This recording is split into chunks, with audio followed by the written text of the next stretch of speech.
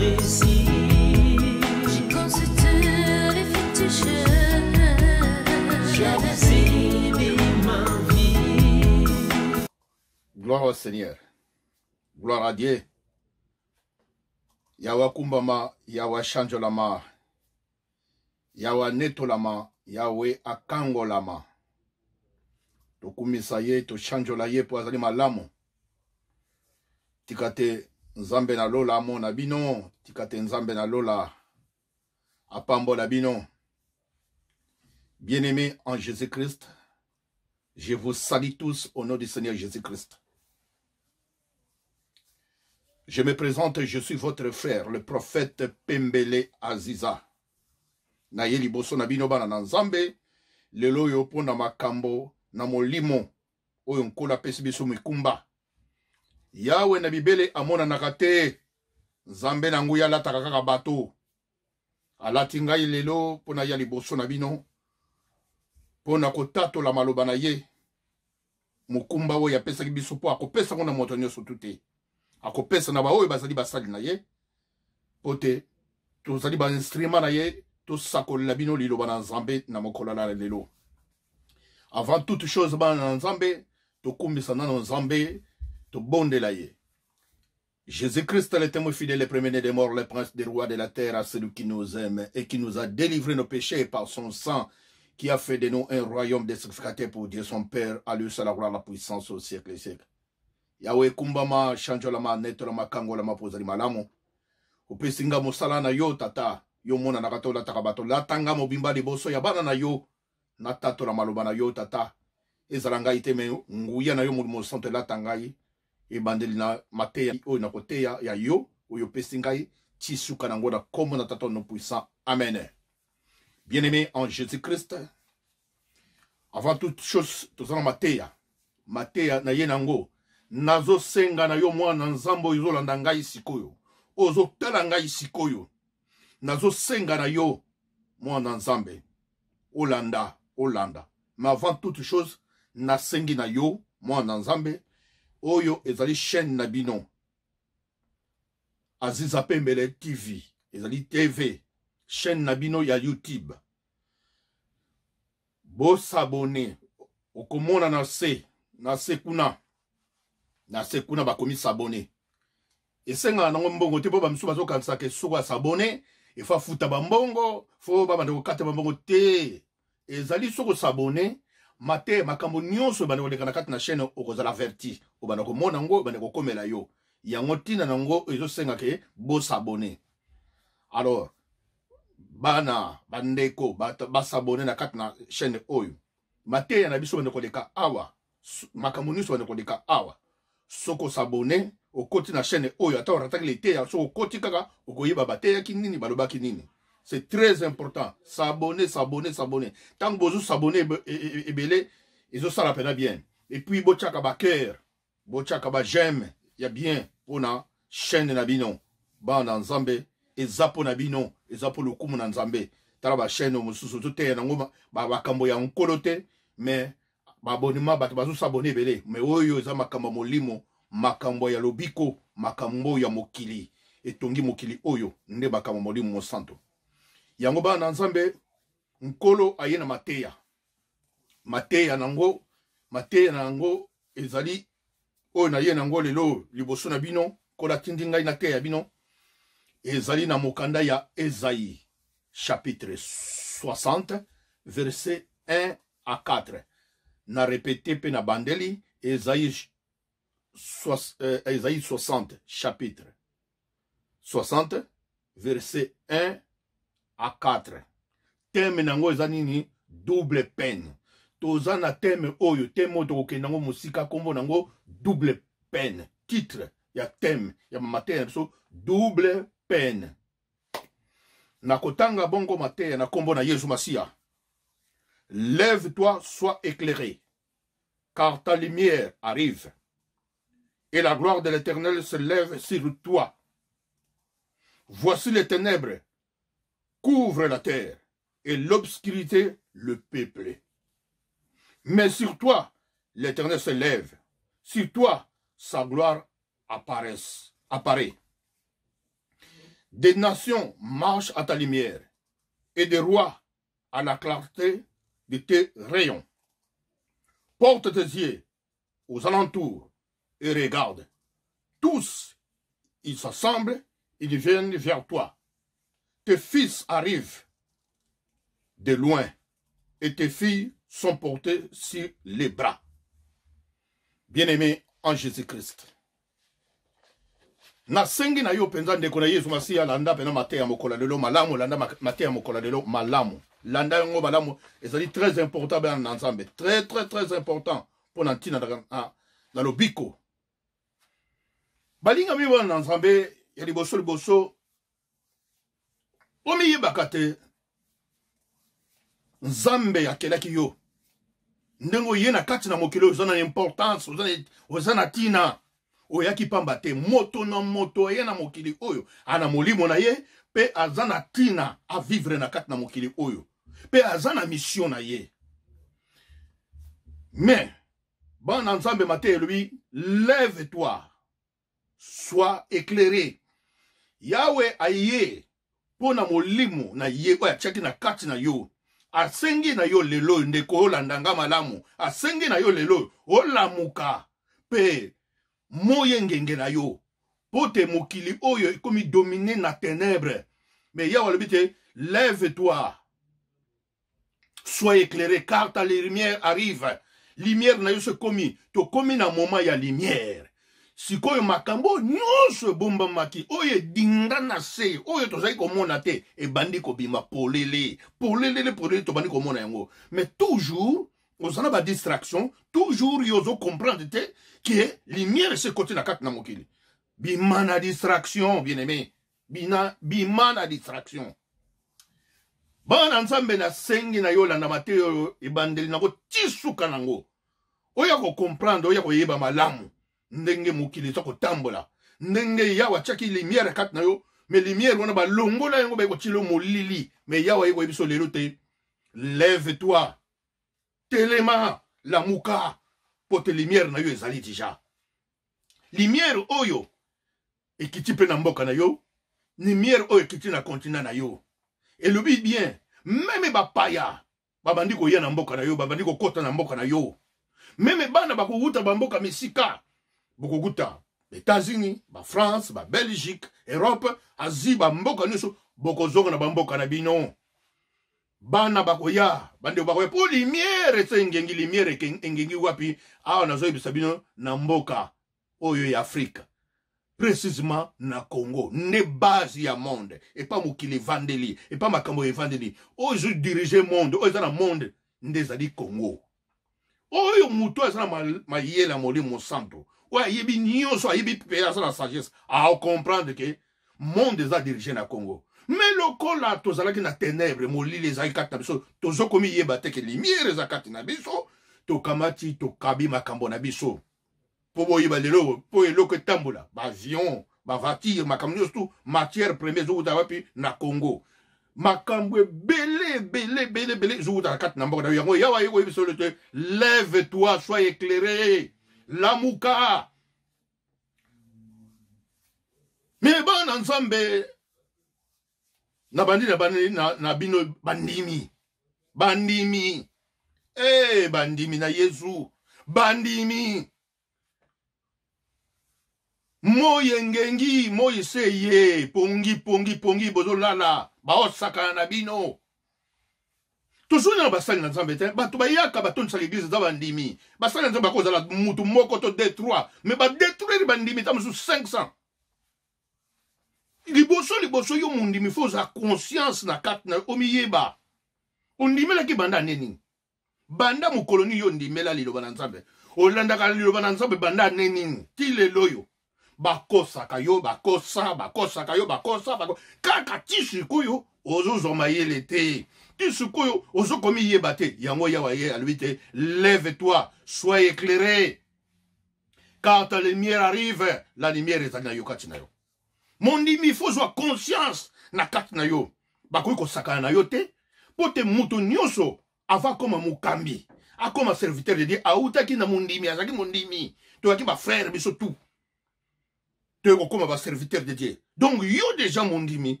momo bazosakana na yo eleki mingi yango yawe alobi na yo lelo fongola matoyo yoka fongola bato oyo oloka mpo limiere ekiti kati na yo bima na masumu tika mokili ese ekomi na suka tala mokili ndenge ezotambola moto ya mayele ayebaka deja azomona te mokili oyo ndenge ezotambola bato nyonso bakombe ingrat bato nyonso bakombe ireligieux posa na mbongo bakomi kosalela bato bambongo vi na yo bazolinga okufa tala soki balobi maladi ya corona bazozwa nini bazwa baorgane na yo baa na posa bazwa micopu to baorgane na yo me baa na posa na yo te sikoyo micopu oyo na babiloko bazozwa na nzoto na yo moto oyo akozwa yango bakoketya ye nde aza na posa vivre yo nde oza na posa ovivre te est ce que vuvu bozomona yango te bien aimé se repentir bongwana tika kindumba tika masumu tika koboma tika kindoki tika kokosa tika koyiba tika kofinga tika koyina ndeko na yo linga ndeko na yo lokola yo moko ozo komilinga nde yango wana kaka nzambe asenga makambo ebele te na bible asenga biso biloko ebele te alobi kaka ke kumisanga nzambe na yo linga ngai na motema na yo mobimba mpe na bomoi no mobimba epuis linga ndeko na yo ndenge moko oyo omilinga eh, asengani makambo ebele te ka yango na kaka soki tosali kaka wana devoir wana esili asenga makambo ebele te mais bien aimé en jésus christ oh nakosenga na bino attention attention attention attention bandeko so boyebaki kotambola te boyeba sikoyo kotambola me baresponsable ya makambo oyo nyonso ezali na bino bandimi parce que vie mondimi oza capable obongisa vie na yo oza capable obebisa vie na yo soki bino bandimi bomipesi te na makambo bozomona malamu te soki limiere eza kati na yo na baeglize wana ekokangama soki balobi tokokende te tokosala boye te ekokangama bokomona bango te mais problème ezali nini bozali neutralise esi bakangakanga bino babindika bino na banani bozali bavictime ya bapaster bozali vic, ba victime ya ba prophète ba jubino lokola ba meme na bango ba jubino lokola ba mbwa bakosala oyo bango bakosala ba jubino lokola ba girouette boyebi girouette ezali na ndeko ndeke moko eloko moko batiaka na église catholique lokola ndeke lokola soso likolo ezalaka na po ezalaka na, na sens te soki mopepe ye kote ebaluki boye soki ye kote ebaluki boye donc girouette elingi oloba ke moto moko ozangi personnalité te position eza te babandi kosakana na bino bien aimé en jésus christ basakani no ntango molai sikoyo yawe aye koyebisa ye kati na yo limiere ye soki na kati na limiere oyo eye omikebisi te double peine double peine elingi oloba nini kokufa mbala mibale okokufa mbala mibale baye babomi yo nano na molimo na yo babomi yo susu na makambo mosusu double peine liwa ya nzambe mosusu na liwa ya bango mosusu bien aimé ya jésus christ yango yawe aye koyebisa kati na bino te esengeli kati na bino botelema bien aimé bien aimé baprofete bapaster baserviteur de dieu oyo bozomona natangi bamisusu te baba eya baapotre badocteur euh, epuis toza na baevangeliste toza na badiacre bato nyonso wana ya malamu baeli ya mabe mpe bazali me na momo tozoloba lokola limiere eye bien aime verite ezobima polele polele tala yawe alobi na jean 8 verset 32 alobi vous connaîtrez la vérité et la vérité vous affranchira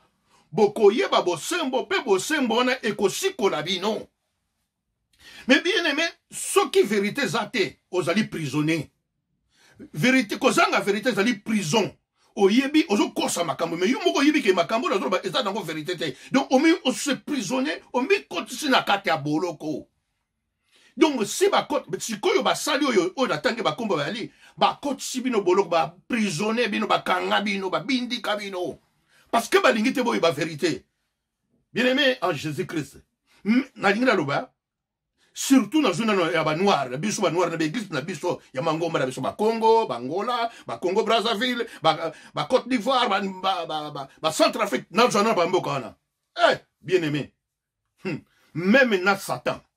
na repete meme na satan aokamwa bainspiration ya bapaster na baprofete ya congo na bamoko na tangi wana azokamwa ndenge bazobimisa bainspiration meme satan alobi eh, eh, eh, eh. ngai kutu naza na ngai satan mais bato bazopesa ngai mayele na bainspiration yango wana satan c'est difficile satan a déplacer alongwa bamboka lokola bakongo bakongo brazzaville bangola bacote d'ivoire baafrike mwa elongo yata mpate bopesi ye bainspiration meme na nzambe na lola ntango avandi azotala lobi e nasala bato me ona omona basali na nzambe incroyable bozomona ti na basali na nzambe ekomi mpenza ke na kati na eglise bazolongolisa bato basous vêtement bana basi basous vêtement oleki liboso bosali molongo basous vêtement akomi kosala baje na ye makambo na ye akokata basi bapwale na kati na eglise yoka bainspiration meme na mokili ezokamwa meme satan alobi e hmm, aza na nga satan me natindaki bango makambo te me bato baza na inspiration hey, bozokamusa meme satan ekomi sikoyo ke olie biloko ekomi nini ekomi ekomi nini te alie biloko akati akati mosuni azopesa bato mais non non on en a assez vie on en a assez vie la lumière apparaît pourquoi bandeko bozoko bozo bozozwa mayele te bokweisama kaka na makambo oyo bien aimé en jésus christ baeglise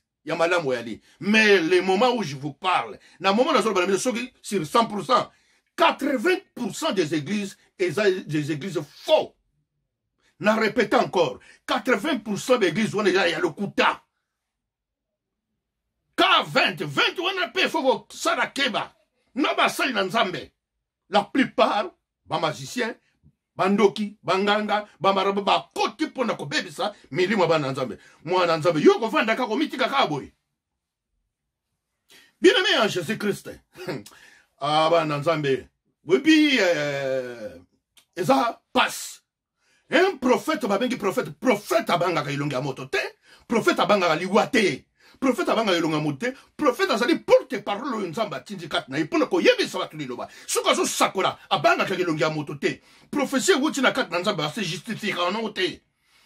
prophète aprophétise makambo asisi akomi kolandela prophesie na ye na batele so bato balobi boye oyo oh, nalobaki boye te abandi kobunda wana eza prophesie ya nzambe te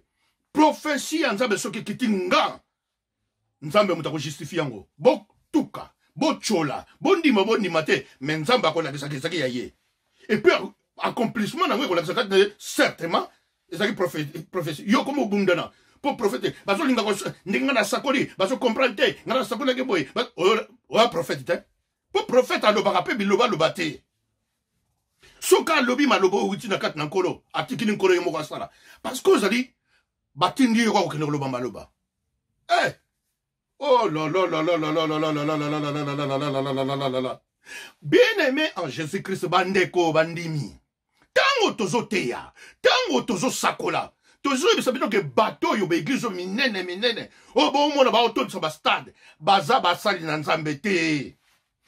baza basali na nzambe te baza bacommerçant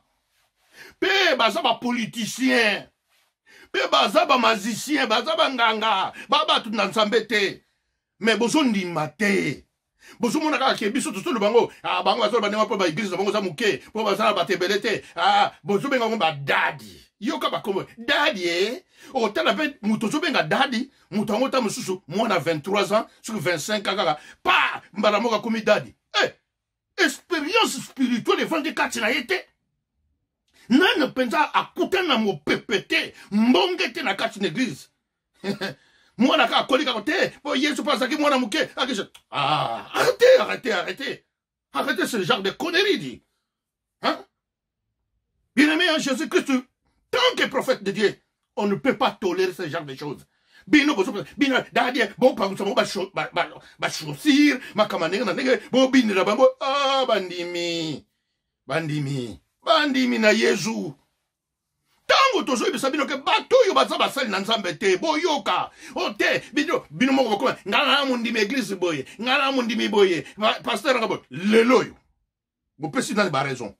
lelo oyo lokola lumière ekiti lève toi soit éclairé lumière ekiti lelo oyo bango moko bakomi koyebisa bino na ba tele na ba réseaux sociaux ke église na biso ekomi politise donc bandimi lelo ke église azalaka azalaka na bango bapoliticien mais bozondima te bocomprendre te epuis bango moko balobi beke église na biso bamagie ekoti me ntango biso tozoteya ntango toza koloba ntango tozosakola boyaki kondima te me lelo oyo boboya sikoyo boboya parce que baza na bango masisi bayebisi bino mpe bien bazoloba mpe bien ke eglise ekomi politise mpe eglise ekomi maji ekoti na kati ebandi lelo te banda kala mosala basalaka bino yango wana banda kala makambo basalaka yango wana lelo oyo lokola bamoni lumière na nzambe ekote oyo nyonso ebombamaki oyo nyonso ebatamaki mpo bosakani na bana na nzambe ebandi kobima polele me nazosenga na yo mondimi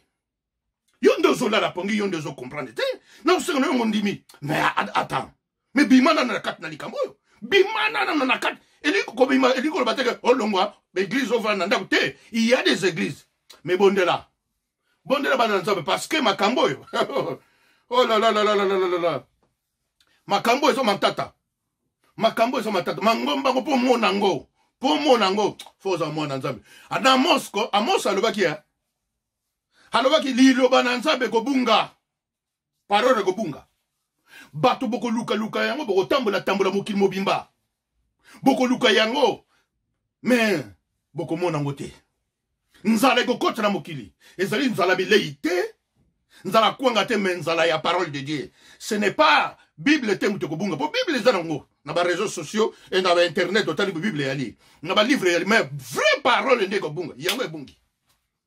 oyo bacharlatan bacharlatan yango etikali yawa azobungisa liloba na ye soki otelemaki bien te ozalaki na esika malamu te basambelaka nzambe na kati na kimia okoluka parole ya malamu okomona yango te bana ya nzambe bien-aime ya jésus christ hmm. yoka ndenge badetruire bino basali na nzambe oyo balobi ke baza politise balobi eglise ekomi politise babanda banda kala bakota na bango na politike bakoma na bango bapolitisien me balati nzoto ya basali na nzambe mpo badetruire kaka eglise na nzambe babisali lokola baza bango basali na nzambe non ce ne sont pas des serviteurs de dieu bamisusu nde bazalaki baserviteur de dieu me lokola baza bacomplexe complexe eza kati na bango lokola soki mposa ya kozwa abalongwe batiki nzambe bakota na politike mpo na kokosa bandimi mpo na kolia bambongo na bandimi bakoma bamazicien bien aimé ya jésus christ bolingi boyeba nini baprofesi ya lokuta bakoma kobamba baprofesi ya lokuta bolanda bango bafanatike na bango me bavrai profesi ezokita bozolanda yango te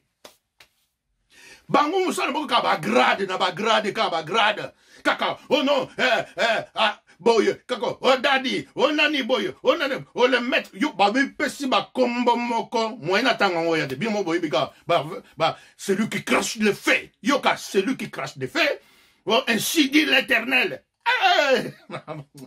ah, bandimi na yesu eza koseka me koseka kanda koseka ya kanda likambo oyo c'est-à-dire que crache le fait moto na nzambe lisu oreille de dieu ah bien aimé en jésus christ mais bino mpe ah, ah, ah. oh mondimi sois éclairé sino te double peine ekokitela yo bagrade kaka na bagrade baorgueille na orgueille est ce qu'un serviteur de dieu azalaka orgueille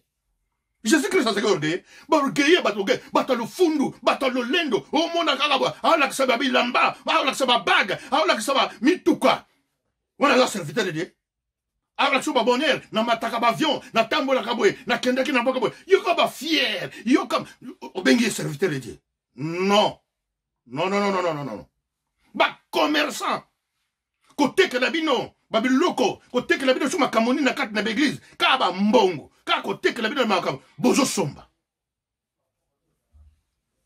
bapoliticien bakoma na bango bapoliticien mais déguise déguise babatama batama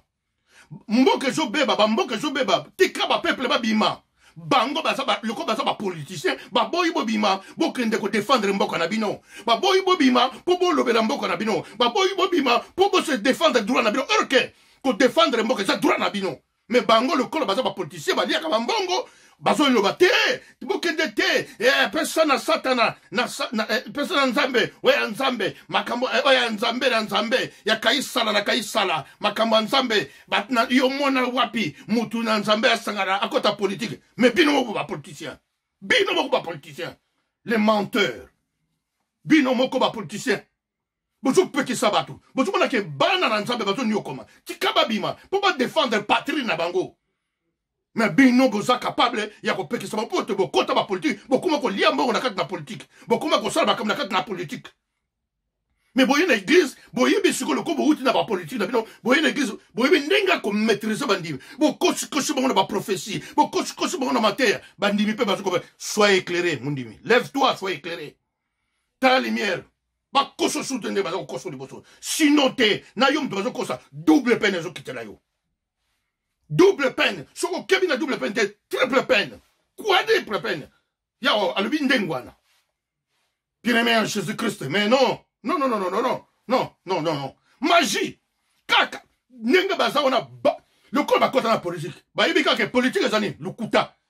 faut kokosa donc bango mpo na bango politike eza lokuta baya bakosi na politike baye kokosa na eglise bazoya kaka lokola lementaire boyoki nde bakabolaka bambongo boyoki ndenge baliaka bambongo na bango bazalaki na ntina na bino bazalaki na ntina na bino te bazolia bambongo na bango bazolia bambongo mituka mpo na mabota na bango bana ntina na bino te bakogene mpo na bino te bakonyokoma mpo na bino te magie bango nyonso baza bamagicien bazwi maji wapi obike eza pasi eh? maji oyo bazwi yo oza congolais yo oza angolais yo oza centrafricain yo oza ivoirien oza na bakoko na yo batiki na puissance na yo pouvoir na yo bokoko na yo mais yo ozwi maji ya wapi baframason maikari rose croix illuminati mpo ozwa puissance okoma soki nani omemi yango bato bapesi yo maji wana baza bapaya ntango bapesi yo pouvoir babombi mosusu bakomi kodetruire yo sikoyo mpo pouvoir na bango emata bazosenga na yo moto ozwi yo congolais yo africain moto ozwi pouvoir ale opesaka bandimi na eglise opesaka bafamille bato babanda kokufa obanda obima na basi ya bato na eglize obanda obima na bafami oyo ya mike mike obanda koviole bato okoma homosexuel yoka yoka yo ozomonaka mokabi oyo abimi na mwana mwana aviole mwana bazotinda ye kotinda me bango moko kuna bavandi kimia yo ozosalela bango zoba elema ozangi mayele omibengi serviteur de dieu trahison kaka kose trahi bango na bango bozomona bazowela puwa o te ngai nafotaki ye te yoka peye kobonga ndenge nini bapeye kobonga ndenge nini batindi bino babengi bino bino boza baserviteur de dieu boya mpo sikoyo tobongisa mboka tovote moto moko mpo na baelektio to makambo ele o oh, bapolitisien miyibi yoka ntango bapeso bake yoka makambo bakomi osala bakomi kowela te yo sala boye sala na bato na bapoliticien bakoki kobanga mboka te bakobanga mpo bayebi ke baservitere na ye baka nango yango makambo ya lokuta yango nango lokuta donc mboka ebebi bazomona lokuta lokuta parce que bino moko bozokota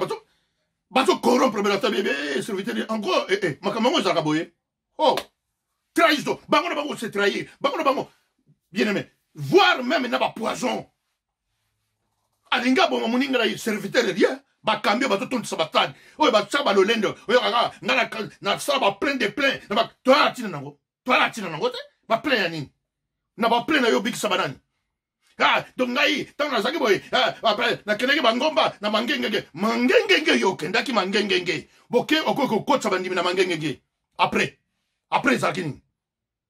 ntongo etala na basemaine wana nyonso bapreservatif na bapreservatif zamba nyonso zamba nyonso makambo okenda kosala yango wana koniokola bandimi hein? bozo niokola bandimi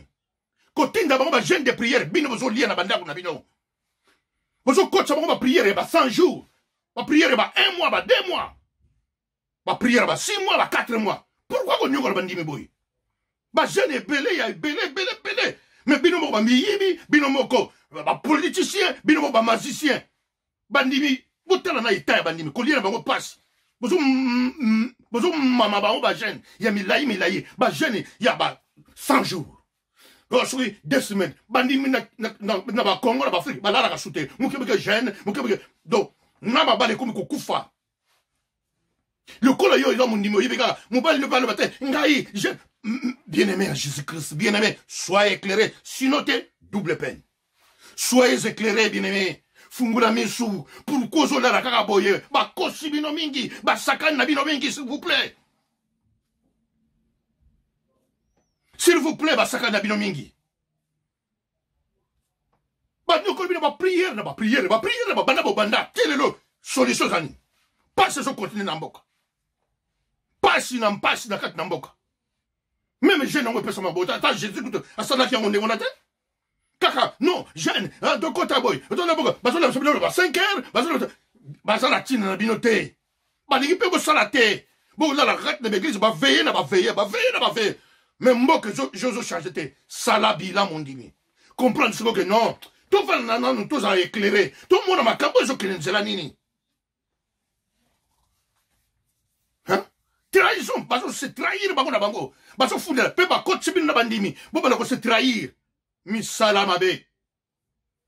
bamandian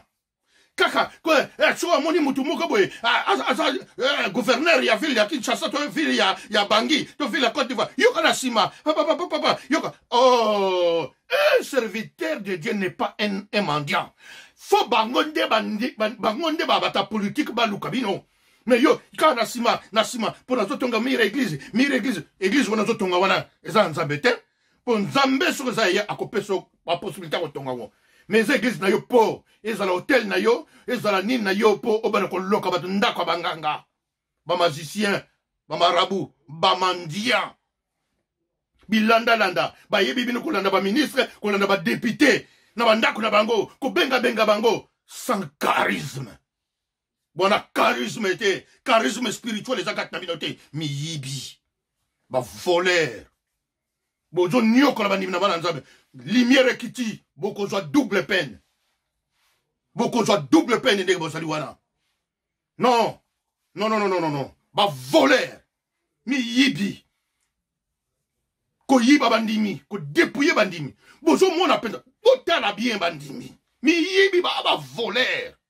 ba ba serviteur de Dieu te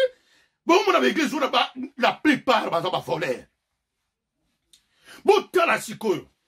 mpo boyebaka ba ba voleur baa na ntina na bino te maladi ya korona eye bakonfine bino balobi bokɔta confinement me bazokontinue kosenga bino bambongo ntina bandako boza konfine mboka ezotambola bien te bozwa bapasi kolia na bino bapasi baa na ntina na bino te me bazoba tinda yango na mpesa tinda yango boye eh, tinda yango bapesi bino na banimero ya compte botindela bango bambongo mais bien aimé soyez éclairé fungola misu comprendre di ah, ah, ah, pourquoi tu dors pourquoi bazo comprendre te bandimi na yesu masiya misu ezokufa bino ndenge nini oyolamuka te mpo te bato na soki bazalaki basali na nzambe ya solo soki mpenza bazalaki basali na nzambe ya solo ntango bakonfirma ekweyaki ba bien aimé ya jésus christ bomonaka na poto ti bomonaka na poto basali baplace oyo ezali kopesa bato baaide bato bazala badifficulté baaide bazwa bambongo na bastade bazwa bambongo na politike baprésident de la république bapesi bango bambongo baministre bapesi bango bambongo badepute bapesaka bango bambongo mais ntango na pasi eye sikoyo na mboka bakangi mboka olie bakamata ata quelque chose mpo bacomprendre ke tosala ata mwa restaurant tokabolaka ata mwa panapokwa ubie tolambaka ata mwa potopoto to kafe na bamama basalaka mikate mondima lia ne fiske ata 3 mikate a vivre non tala mitima mabe ya bato aboye bozobenga ngo baserviteur de dieu le charlatan boza na double peine boza na double peine bino bamosusu bakoloba wana nazo loba kuna biso nani je suis le prophète de dieu nazoyebisa bino ke boza na double peine boza na makambo na nzambe so bokobongwana te so bobongwani te boza na double peine je suis le prophète en l'ombre prophète en l'ombre alani prophète oyo ayebani te amimonisaka te amikumisaka te bosakani ya milimo na bandimi quel égoïsme quel égoïsme botala makambo bino bosali na kati na mboka bobebisi bato miyibi bascro koescroke na bandimi escroquerie c'est une escroquerie boscroke bandimi debauche bascro boscroke bandimi bobebisi bandimi ko baprofesi ya lokuta bobambi bobebisi bafamille ya bato boparalize bafamille ya bato bokaboli mabala mabala ya bato ekufi kaka bino bokaboli bato na bafamille bafamille mosusu bayokanaka soki likolo ya baeglize bozali baresponsable ya, ya minene bobomi mboka bato babomi mboka ezali bapaster na baprofete basali na nzambe oui il faut asime bino mo bozoloba ngo tozoyebisa bandimi nateyaka yango panda confinement nayebisa bato ke eza basali na nzambe baza baresponsable bato batelemeli ngai otelemela ngai lelo oyo bango bazondima bango mo balobi ke to se repentir lokuta na bango bazoloba wana repentance ya mbebo me na mitema na bango bayebi balingi bachange stratégie ya kolia bino mbongo ya kosevire bino ya kobebisa bino ya koniokola bino alors soyez éclairé mondimi lamuka lumière eseye makambo yango nani ebimi te ebanda kobima polele mpwasa nzambe abombaki bango ntango molai sikoyo bokomona yawe non bosakani na bandimi na yesu bokanisi moto akobundela bango aya te bokanisi moto akolobela bango aya te soki jésus krist azoloba te na likolo ana basali na nzambe oyo bakoteya esengeli nazosengela bavrai prophète na bavrai pasteur botelemela likambo oyo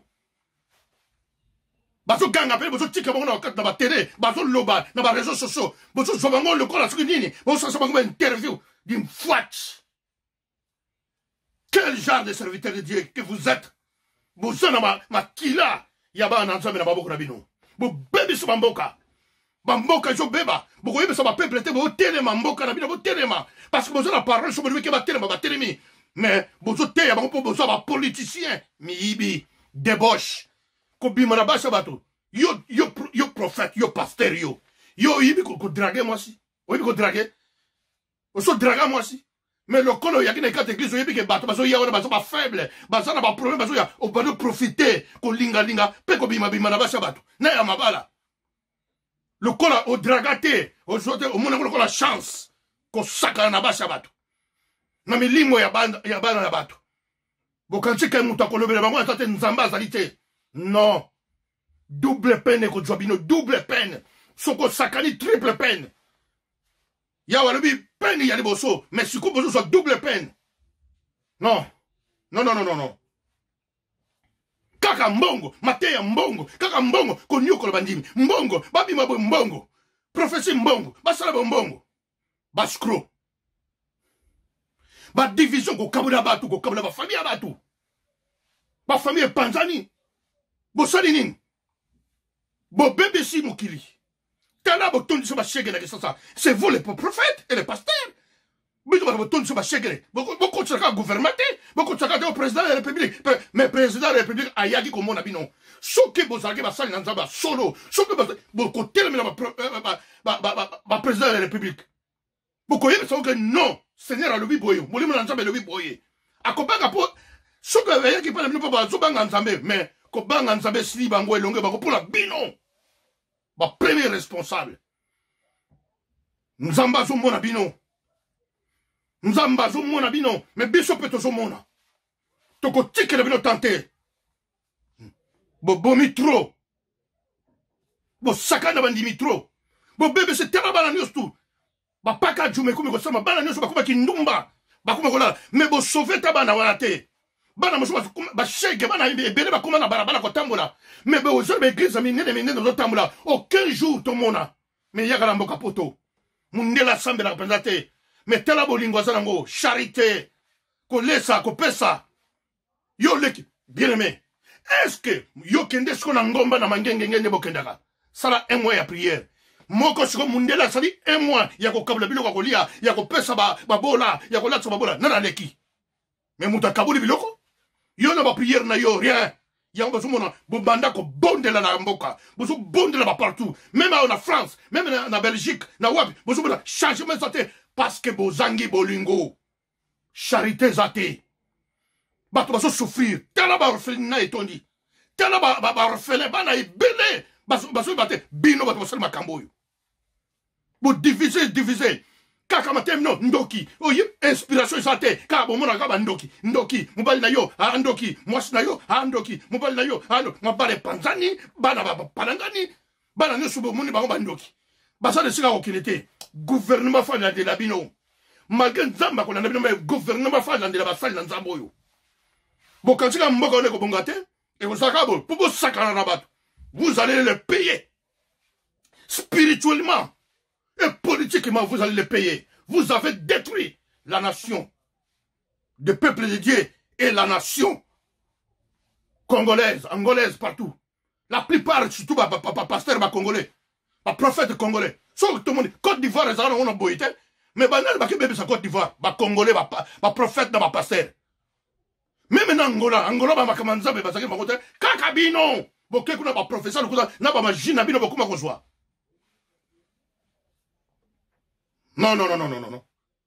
complexe alcool bilangwa boza na bawiski na bandako bomelaka badiamba makambo ndene me bokoma kotelemela bandimi ah, komela boye te kosala boye yo moko muscador plein okoma kobeta 3 5 muscador na journée mobima toboyi te topekisi okomela te me yo oyo ozosala ba jack daniel na kati na ndako na yo molangi soko omeli te koteya te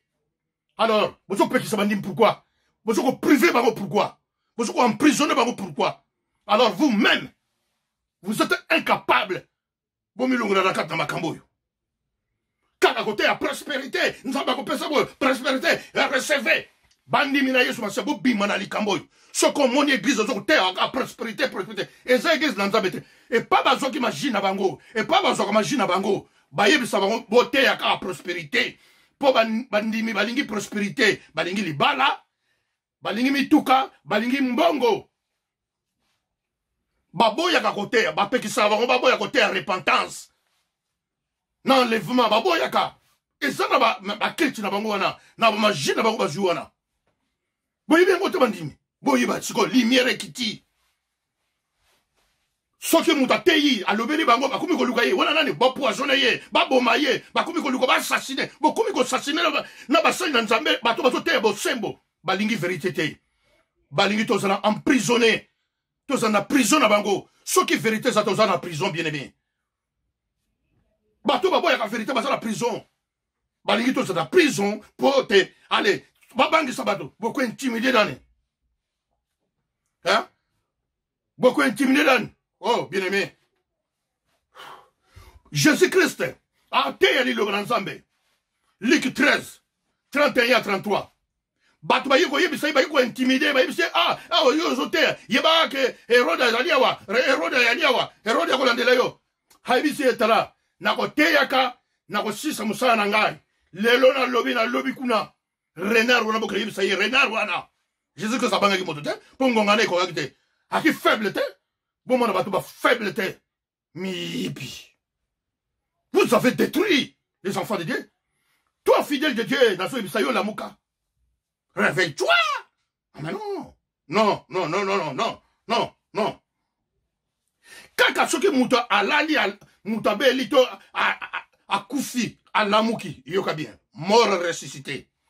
soki kaka moto alalaki oh, alamuki akufi to nini ezalaka nango mpe eya na bato mpe na mokili mobimba ezalaka na congo te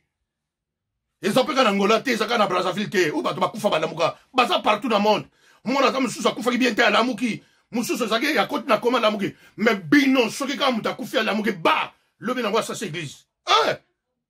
oyoka kaka oh, yeko bandimi yo mpe mondimi ete eh, ndenge aza wana akufaka alamuka ndenge aza wana e eh, ana nguya donc so moto akufi alamuki donc nguya eya kati na ye epe bato nyonso bakufa balamuka oyo akufaki alamuki bazoya kaka bayaka kaka ntango bayaka bayaka kaka na batémoignage témoignage na bango nzambe atindi ngai nzambe atindi ngai nayebisa bino bamanteur eya na bato oyo nzambe abenga na bato oyo nzambe abenga te soki otali bango likolo bango bakendaki likolo bakendaki kovisite confusion na confusion tozoyeba te sikoyo lola yango ezalaka ndenge nini bamisusu lola yango ya selembau bamisusu oh, lola nakendaki na lola ya gombe nakendaki na lola ya paris nakendaki na lola ya bruxelles nakendaki na lola ya bumbu nakendaki na lola ya matete eh, balola ye eh, lola lola mama pasi ya yesu lelo yango ezalaka boye nde mutu na mutu akomi koya ana ah, ntango tozoya na jésus jésus totamboli totamboli jésus alembi eh, yesu alembi ah non non non non soyez éclairé mondimi soyez éclairé ntango ayebi oyo yango yawe atindi ngai na ya na teyeli eloba na ye bien aime boverifie bovandelaka mpe novandi mpe nozolanda mpe oyo oyo akoya oh non sere mun boyebi frère moko azali koyemba boyebi ye ayebani tro akufaki boyebi ye nakotanga bakombo awa te boyebi ye moyembe monene boyembaka ayembaka banzembo ya français boyebi ya congolais mais combien de bato bake na lola bayeli biso baconfusion o oh, nakenda kokuta ye na lola avandi bamisusu o oh, nakenda kokuta ye na lola bazoniokola ye akenda na enfer mais sikoyo tokolanda lola oyo ya wapi sikoyo tokoki yoko ya wapi yokaka ba confusion bato wana nyonso baye balote bandoto bazwi ba révélation ena bamindele oyo bayaliki bakufa balamuka me basala ba église te biso soki kaka moto akufa alamuki kaka ba ye balobi nango église esalami aye na batémoignage botala abimaka na hôpital oyo bato bamonaka esalamaka eza bafe koya mais eza kaka te fo koma serviteur ye akomi serviteur ye die epuis motu oyo akenda na lola amonaka jésus oh non ntango akendaki komona nakomi na 24 trone ah non awa ah, bandimi na 24 trone eh, na, na, na trone ya nzambe naomona ba 24 vieillard hein? eh? meme baange baza na likolo nano bakoma eplasi ya nzambe avandaka te apocalypse 4 kaka jesus krist ye moto akendaka kuna babengaka ngo nkombo ciel vivant ye moko ye, ye moko yawe na bibele meme baange na likolo bakoka kotala ye te mpo soki otali nzambe omoni omoni face na yo odisparaître eza na mapapu ebombaka elongi na bango mpo bamona nzambe boye te yo sikoyo congolais okenda komona 24 trone 24 soki trone ya nzambe na ba 24 veilleur bavandi ha ah, non jésus christ le témoin fidèle lokuta oyo bandimi bonyokwama banyokola bino basakana na bino bien aimé basiel ezali ciel vivant na ciel mystère na ciel mystère nde baparadis eza kuna na kati ciel mystère nde soki oza na problème epai yo kokende ekendaka na kati na paradis okevana na ciel mystère wana toza na baange bavandaka kuna toza na baange armée celeste evandaka kuna mais bakomaka na ciel vivant eza ye moko yawe moto akomaka kuna te epuis toza na ciel netre ciel netre nde yango eplasi bafleo e-, eutaka epai nzambe azwaka bitumbu maladi batempete baouragan babiloko eutaka kuna na ciel mort bapesa na diabulu mais bato bakenda confusion sikoyo tozoyeba te lola yango ezaka wapi bien aimé bien aimé ya jésus christ nalingi nayebisa bino boye lola oyo bozoyoka lola eza na balola ebele lola ya diabolo ezali oyo bato bakomi kokende bamagicien bapasteur bazoyoka oyo bazokende na lola na bango ya diabolo babenga yango monde astral astral pandalumium pandalumium monde astral bazokende vision na bango bake oh, nake voyage astral yango na monde ya diable baza na jésus na bango alataka mpe pembe pembe aongela mpe aongelaka mpe bino bozokasa jésus non oyoka nakendeki namoni yezu aye ilo bien aimé eza monde mosusu la preuve ade kende na basango soki amemi yo na cimetière atika bopan mokili mosusu afungwami meme na samai mokili eyali mais eza ya jésus te sikoyo bango baza wana lokola baeglise oyo bino bozosambela eza bamagicien soko oloti bamemi yo likolo likolo okei eza ta mosusu ya nzambe te eza na monde na bango wana selebon okokuta na baange na bango mpe baange gabriel na bango bayali bamoïse na bango mpe bayali bien aime fo bokoma oyo ya nzambe ko ezalaka prepare te ko nake na te oyo ya bango ezali oyo ainvoke kaba à se, à se démultiplier. Bokomona ye azoteya na, na, na Los Angeles, azoteya mpe na France. À se dédoubler. Oyo oh, ye wana pas à voyager. Wana eza ya diabulu. Oyo oh, ya Nzambe mpo moto Nzambe amema yo. Okomi yeba te. Okoyeba eyebani mpe mikolo te. Ye moto alingi. Soki Seigneur alingi nde amemi yo. Epuis moto wana ntango akitaka bokoyeba ke aza moto na nzambe mais la plupart ya bato bake bake basieli wana baoyo nakendeki likolo nalalaki nalamuki nakufi soki olandi bango loba eglise moko bobenga bango na batelefone soki tembe bobenga bango na batelefone benga ye mpo na priere okomona kaka oyo na priere wana fo 400 euro 400 dollar tokobondela mpena bie bien na, na ndenge eza wana donc akosukela kaka na makambo etali mbongo yo moto owutaki likolo frere eh, pasteur eh, prophète yo moto owuti likolo okomisi oyo te na nyonso wana ndenge ezali wana fo otonga eglise osala boye osomba bilamba boye soko opesi te akosala bapriere te liboso fo pesa alebi liboso benga bango badadi dadi eh? da double peine yamba lumière lumière ekitela yo lumière ekitela yo ainsi dit l'éternel ah bien mais ba prophète bo yoka ba prophète ba ko mikumisa nga prophète nga pro... non non non non il y a quatre sortes de prophètes prophète il y a liboso ba benga prophète du contrôle église mobimbe vandi la carte na nzoto prophète wana prophète wana ata kutu bosakani na ye ata bosali ye ndenge nini mais église afandi kati na ye ata akei wapi ata bandimi bakimi ata batiki ye mais apa eplace nyonso akendaka eyebanaka ke mosali na nzambe azali awa akolobaka mpe mingi te aa moto akimia epuis église efandi kati na ye aza likonzi oyo yezu makila na yezu mystère na nzambe efandi kati na ye epuis aza na makambo alala alabuki te te aboye ah, non amilakisaka te nde babenga prophète de contrôle deuxième prophète azali prophète du conseil baprophète wana akoyeba likambo na yo ayebi makambo na yo balobaka te ayebi makambo na yo ntango ayebisi yo te asoki soki yo boyeboye ayebisi yo te akopesa yo na mosusu conseil abiso ndeko nayebisi yo boyeboye esala boye oh, ah, pourkoi ozoba abi te akopesa yo conseil soki okebi te akoki kolivre yo mpe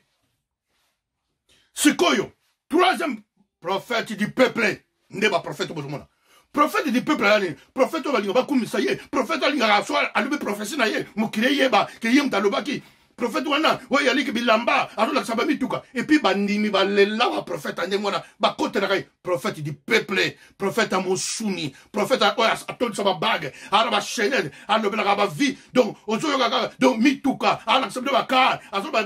nzambe apamboli fo tolaka non prophète du peuple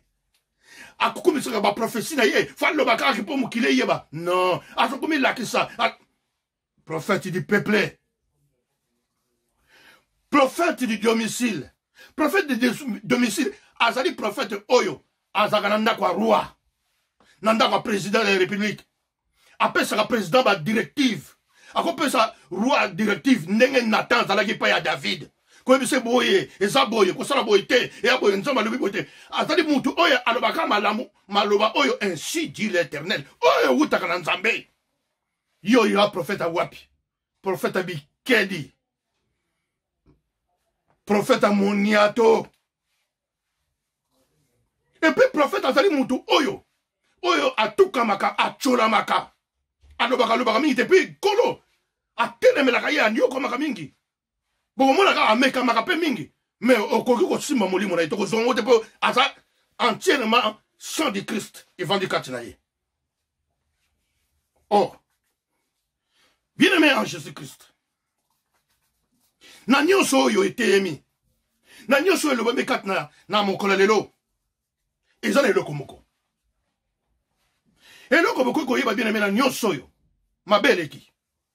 mokili ebebi bosali mabe ebele ezali bolingo charité amour bonte pe kimia kolinga ndeko na yo ndenge yo moko milingi kobanga nzambe bolingo eleka koleka tala bandeko bazoniokwama na congo tala baorphelina mama bokoma kosomba basaki ya chere bokoma kosomba bilamba ya chere tozomona bino bozokomikumisa na babilamba oyo bagrand saper oyo banini tala bana botala baleki botala baorphelina etondi na bamboka tala mondele makambo azosala na mboka na ye abondelaka mingi te me mondele azopambwama toujours mpo na nini aza na bolingo me biso bakaboli biso na bamama na batata na banani na bafaux prophète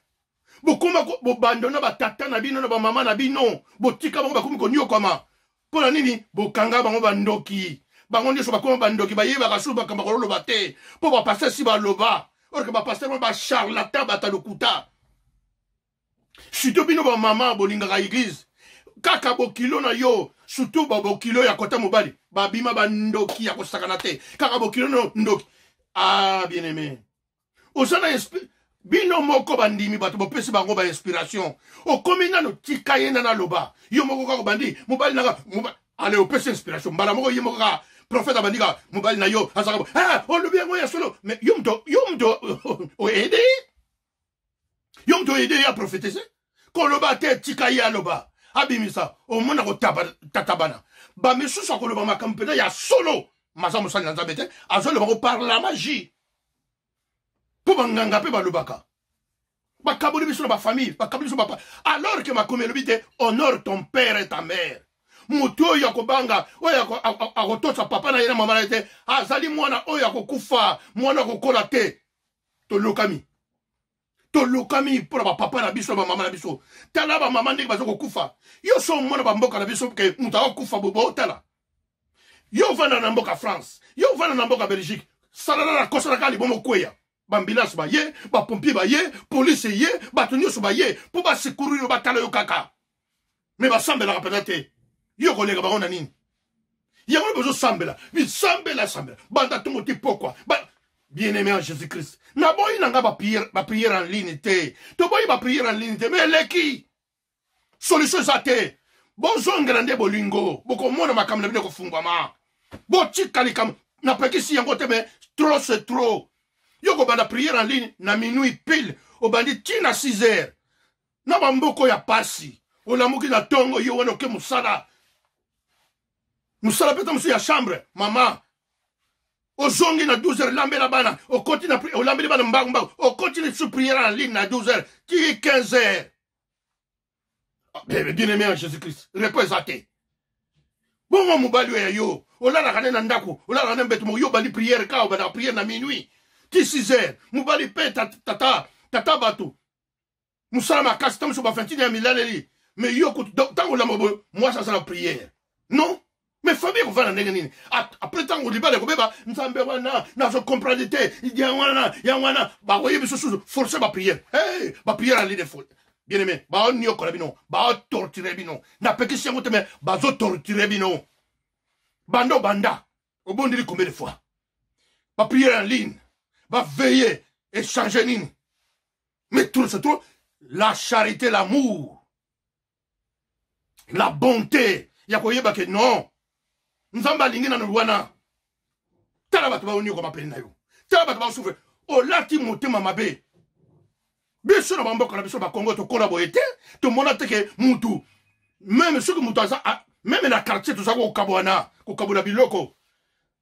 bamanga na kati ya lopango okamati kelke bamanga bopesi bokaboli nango na quartier mama wana azwi mama wana azwi tovivaki na bolingo me basali na nzambe bacharlatan baye babomi bolingo wana mpo bango moko baza na bolingo te bango moko babomi charité mpo baza bapoliticien mpo ba bandoki baa bamiyibi baza baingra baa bavoler baa badivisionnaire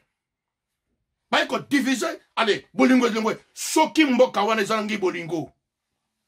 yango bozomona barebele bazokota na kati na mboka parce que ozangi bolingo ozotrahire moninga na yo trahison eza eloko mabe ozoyebaka ekolo mboka yo okoki kotrahire mboka na yo likolo kaka mpo olia mbongo olia soki 100 000 olia soki 50 soki 5 000 euro soki 5 000 dollar okabi mboka mpo ozwa mbongo na bapaya mobupaya oyo omoni wana ai bien aimé ya jésus christ yo oza kolo bamanga bamanga eza na lupango na yo kolo bamanga eza yo ya bien aimé sikoyo moto aye aye kokorompre yo alobi bon zwa no mbongo oyo nga nakopesa esengi manga apesi esengi manga malgre nzete no mobimba ekomi yango ya ye ozomona yango nde bazosala bino na bamboka bazobotola mboka baotala ale bozobaka bobondela boprie nzambe akozala bapoliticien peuple lamuka peuple soyez éclairé mayele na nzambe elata kati na bino bolingo eleka bien aime bolingo eleka un bon prophète abundelaka mboka kimbangu abundelaki mboka indépendance asala mapolani alaki prophète mais yo oza prophète ya ndenge nini yo oza serviteur ya dini ya ndenge nini ozolinga te bandimi batelema mpo na mboka na bango nani basali na nzambe nyonso baprofete nyonso toyebi batikaka ata deteni ya mabele ya mboka na bango te ekende soko meke na terre na bango baza kobomana pourkui mabele likambo ya mabele bien aimé ya jésus christ eza nini yango eza nini yango oh. manque ya respect ya baparent bokaboli kaboli bato bato baloba te baeglise epuis soki otali baeglise yango kaka le même bandimi lelo alongwe awa lobi bomoni ka mondimi yango aye aye na eglise oyo abondeli abondi akolongwa kowumela te lobi achange akende eglise oyo ezalaka na site mosusu alongwa alongwa alongwa kaka le même bandimi bango na baturnaka na bino bandimi aye be place avandaka te mondimi aye na eglise avandi eh, awa nazokoka te nangoni neti nazozwa te okei bien aimé ya jésus christ yo kanisi mokili esamaka mapamboli mapamboli mapamboli non souffrance mpe ezalaka yika mpiko ata obondeli souffrance mpe ekoya me lingi oloba teke chaque fois soki mpo obondeli ka fo zwa bango nde satan azokosa bino baeglise na bango wana ya bakisi ya bamazisia bakokosa bino meme jésus christ anyokwamaki meme nani anyokwamaki mais lingi koloba te ke mpo ozwa eloko kaka mpo na nzambe fo niokwama fo osala bapriere okende na bangomba fo beta motu fo olala bajeune ebele nde na nsima ozwi ah non nzambe aza nzambe ya bolingo nzambe aza nzambe ya bolingo bien aime boniokwami mingi bajeune eleki trop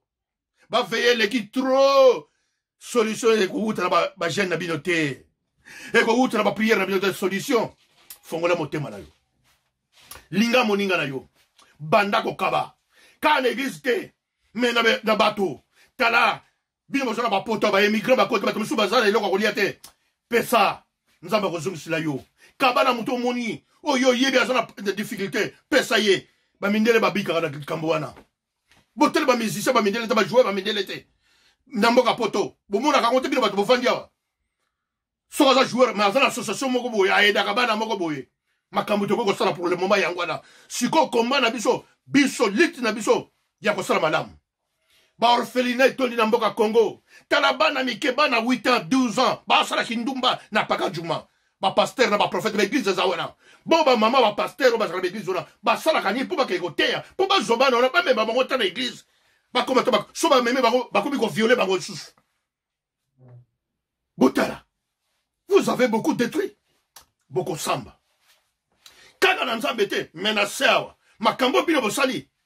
repentance na bino bien aimé ya jésus christ ezala ya koloba na biso boye te tomona siko makambo bino bongi bosala bien aimé nzambe na nguya alingi bino soki toyei na esaïe chapitre 1 verset 14 jusqu'à 20 14 à 20 alobi botika bafeti na bino bafeti na bino wana nalingi yango su te bosepeli trop nyokoli bato mingi yango mpe ozomona mabondeli na bino ezoyambama te tozoyamba yango te botika mabe maboko na bino etondi na makila bobongwana bosala malamu bokomona ngai nzambe na nguya nakoyamba bino meme ata masumu na bino ekomi lokola ngola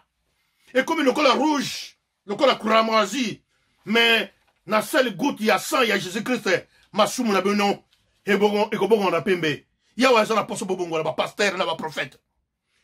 oyo mpenza bacomprendre ke tosalaki mabe tobomi bato ebele tobebisi bien aimé ya jésus christ zongela nzambe akoyamba yo malgre yawe aye koyebisa bino me aya na posa na bino bochange mpe botemoigne boloba ke nabomaki mingi na, na mingi maki ke naa mosali na nzambe ezaka na kongo te meme awa na europe bowuti ti na europe awa bozosala kaka leme makambo bozwili yango na baninga na bino bokabali na baninga na bino ya kisasa boyawa na baeglize bozobebisa bamabala bato kobe makambo ya ndenge na ndenge kotya confusion sikoyo bandimi moye baya na eglize ya te bazoyeba te eglize wapi ya malamu na ya mabe nani bakoti bango confusion kaka bino me yawe aza na poso bongwana yawe alobi naza na poso alobi nalembi yango mabonde bino ezoyambama te soko change obondeli okomona yawe akoyamba bino yawe akoyamba bino me soko boyi double peine double peine ezoyela yo bien aimé double parce que tokomi na periode soyez éclairé la lumière est arrivée oyo ebombama neke ekomonana mpwasa meme na politike meme na, na, na mboka wayo ya poto basala biso makambo ebele bakosa biso ntina babible bakosa basakani na baesprit na biso mais verité ezobima ntina bavatike ekomi oyo tokochange babible oyo tokosala boye bakoyeba makambo basala biso babombamaki vous connaîtrez la vérité et la vérité vous affranchira ekosikola biso bakosaki me yawe soki azolakisa sikoyo me yo mondimi soyez éclairé lamuka zala mayele banyokoli yo ntango molai wa mbwa na bango te wa ntaba na bango te lamuka lamuka bien aimé a jésus christ bapekisi yo eglise te me yebaka ke baeglise yango eza nango ebele te eza mokie oyo ya malamu bango nyonso batikali bamiyibi bacharlatan bokoyeba bango na nini yezu ayebisaki bino na misala ozomona misala me yokaka te ngai nalandaka oyo bango bazosala te nalanda nzambe nango lokuta soki ozoparticipe na masumu na bango mokolo moto kokita na yo mpe okozika soki ozo komiyeba te eh, bandimi na yesu masiya tika mpe misala mabe tika makambo mabe bolingo priere na biso priere na biso sikoyo tosungana tosunga bato kaka badivorce badivorce kokabola bato badivorce bakamba ndenge na ndenge tala bafamille ya bato bazokabwana okotala bato bazodivorce bazalaka na baeglize basambelaka bato bazokabwana basambelaka bamboka na biso bato bazobeba kaka bato yango omoni bato eglize badivision bafamille ekabwani oyo akolinga boye te oyo mama yo koboya bokilo na yo oyo aza ndoki aza ndoki papa yo koboya bokilo na yo aza ndoki aza yo moko mpe nde kozobota wana okokoma bokilo baokango mpe ndoki un jour baokango mpe ndoki ko bien aime soko honore bapara na yo te na bapara na yo te ozali modi bible moto elobi Honore ton père et ta mère pour que tu vives si longtemps. yango bozomona bato kaka bamale chance bato ezosimba te na bapapa respect eza te tozoyeba te nani ni mokolo na respect eza te mi non bien aimé en jésus christ bonyokoli bampate tro bonyokoli bampate tro na kati na baeglise ka kindumba kindumba kindumba kindumba kindumba oh eglise mobimba tala basali na nzambe baprofete batonda bapastere batonda baevangeliste batonda wapi misala na bino bampate bazokufa bampate bazobeba bondimaka bagrade mpo bavandaka kaka bongulumaka kaka bino bokanisaki kaka mateya na nzambe ezalaka kaka oteyi obandi kogangela bandimi abayeli badimi na baofrande misala na nzambe ezala makambo ebele eza makambo ebele politike fo ebanga nde basali na nzambe bokodresse bapays na bino alors yango wana bien aimé en jésus christ la charité na nyonso tolobi ezali kaka mbongwana repentance olobaka a ah, yawe nasalaki mabe yawe mateya oyo namiyebi te bongola biso tobebisi parce que soki ochange te lokola yawe azoloba sikoyo double peine ye balobi double peine yebisa bango sakolela bango oyo bakoyoka te ngai nakomona na bango biname ya jésus christ moto ezoya moto ezopela ezoya bato oyo basakanaki meme bamindele meme wapi oyo basakani na bamboka baafrike bakongo baniokola bato bazosibir bamiyebi bango bayebaka te babiyebi ke toya na problème bazoluka ndenge ya konegocie so bokebi te bapays na bino ekozala envahi bakokima bamboka na bango mpo baya bamboka na bino baafrike baya kovanda kuna esi babandaki deja yango wana ezoloba mateya elobi ti meme bapaya mateya elobi eh, soyez éclairé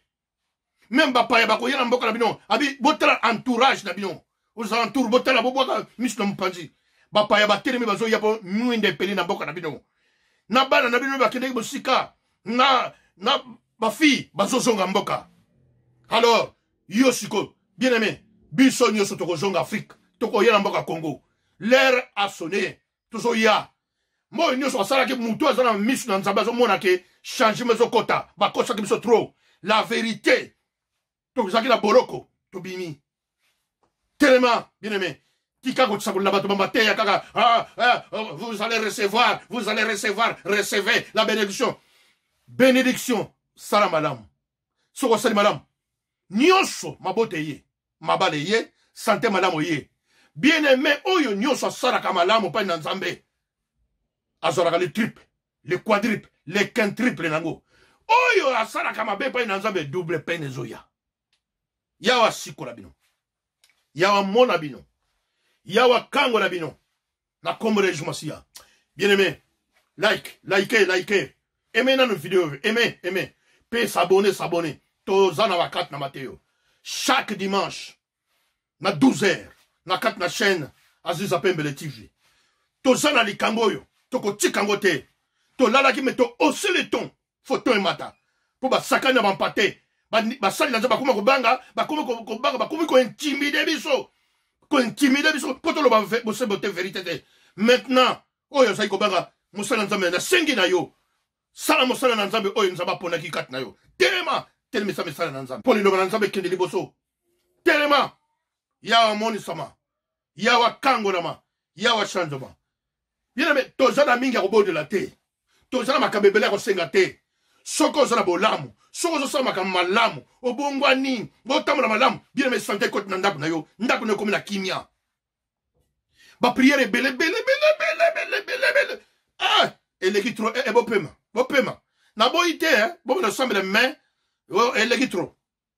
s'il vous plaît eleki trop parce que banda bobanda ba 10 ans ba 15 ans hein? oh, na mundele kutu so fela jalobi eh. mais mundele kam tata bien vi na ye mwa bien malgré bosalaka na esimo mais vi na ye bien mais yo bangomba banini ba, mboka ezokufaka se kokufa mpo na nini bazolakisa bino nzela ya solo te bazoyebisa bino nzela ya solo te charité soki olingi mboka na yo okotrahir président na yo te okotrahir ministre na yo te okotrahir mboka na yo te okotrahir mpe moninga na yo te okoluka so likambo eyali okoluka obongisa okoluka orange amour nde eza te soki amour eza te bokosala tout na mboka ya oyo bafrike neti bakongo ekotelema te ekotelema te sans amour ekotelema te bokosilisa bareunion bokokota baassemble ba ndenge na nini sans amour ka batrahison na batrahison tozobondela mingi te me yawe azosala kati na yo yo moto bakangaki yo yo moto babloka yo yo moto ozotambola toujours na tenebre aefungola yo lelo oyo efungola sikoyo na libondeli oyo tozobonda sikoyo ofungwama obima na kati na nkunda obima na kati na cimetière obima na kati na bozoberire na bango na bablocage na bango mayele eza kati na yo oyeba nzambe na nguya asikola yo verite na yango bana nzambe ezala basali na nzambe ezala baprofete ezala bapastere ezala baevangeliste ezala badoktere ezala badiakre oyo basalelaki nzambe na ndenge ya mabe nzambe aza na bezo na bino yawe apamelaka baoyo ye alingaka yawe apamelaka mpamba te apamelaka baoyo ye alingaka kola alobi te achatiyaka bato oyo alingi bongwana seigneur aza na besoin na yo seigneur aza na posa na bino aza na posa ya bato mabe babongwana bakoma ya ye eloko nde ntina ya nkolo ayeli kati na bino ya koya ana besoin na bino mpo nkolo esalaka ye mpasi soki amoni moto aza kokufa esalaka mokolo mpasi aza na posa na yo homme de dieu okoma mpena homme de dieu olongwa na monde wana longwa na monde wana okotaki na monde moko ya bambrouillement ya batourment ya bambouteillage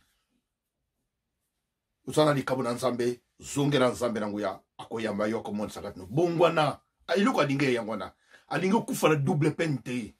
double peine ezalaka mabe okufi okufi lisusu eh mais eza pasi kati na yo balingami na bana nzambe bolaike boyeme boyeme nani boyeme nani boyeme video bopartage bopartage maloba oyo bobanga bato te mpo mwana prophète na nzambe abangaka elongi ya moto te bato oyo babandaki kobanga oyo babangaka bakimisaka inspiration kobanga ekimisaka inspiration okomi oluka mateya na koluka okomi koteya na kobanga te un prophète de dieu c'est celui qui parle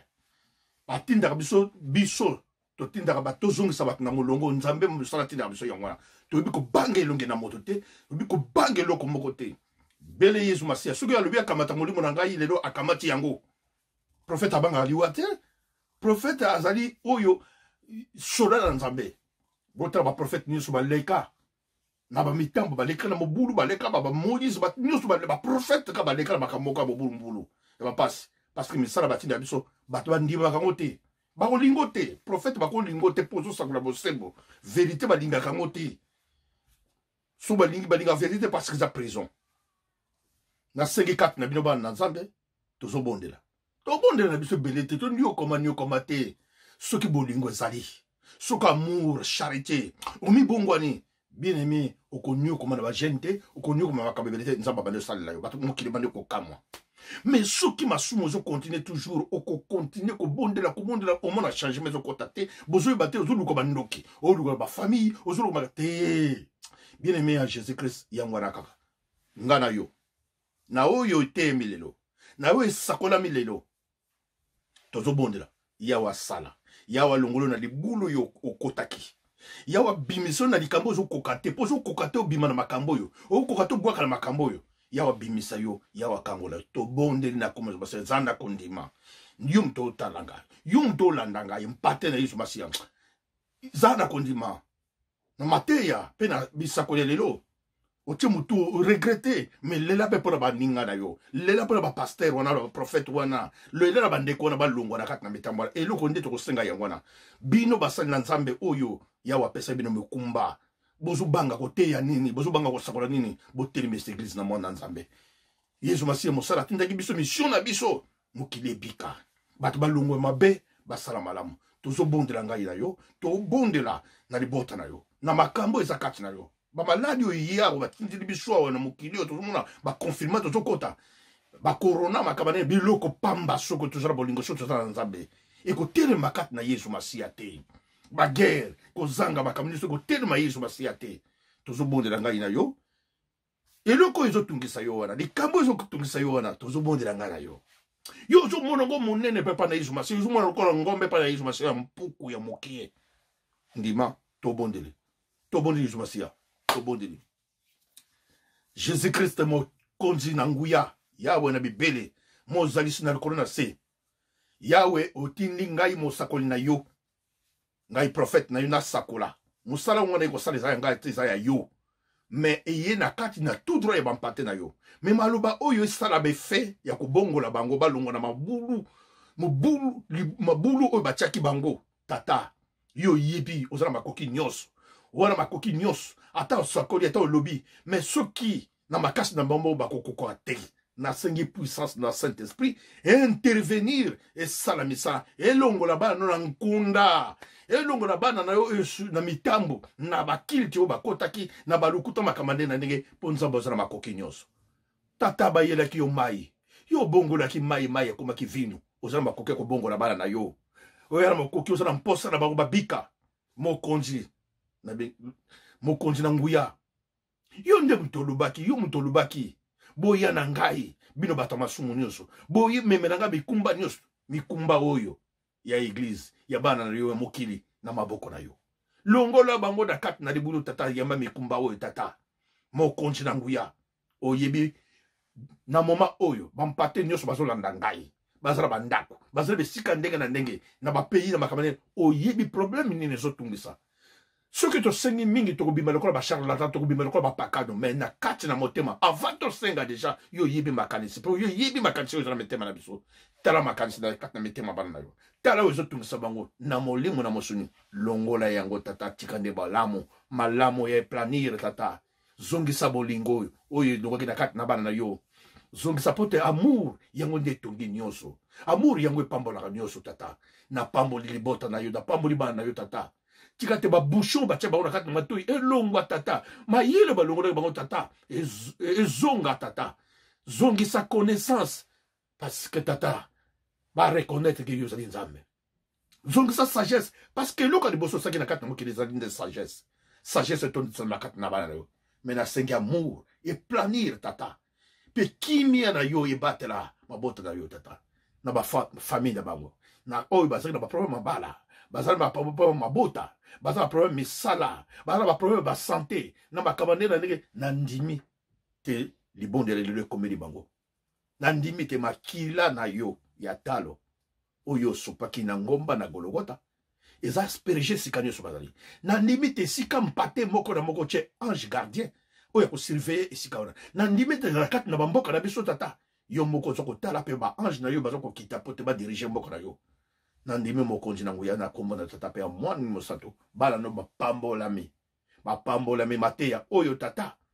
eye mpo ezokisa bango te meye nde mpo ebongolisa bango tata tika te oraisonne bango tata oyo bati tembe na yango lakisa bango na bandoto mpe na bavision monisa bango mateya oyo mpe echange bango oyo mpe balandi te na bandoto bavision lakisa bango mpo toza nzambe olakisaka nyonso mokili eza na maboko na yo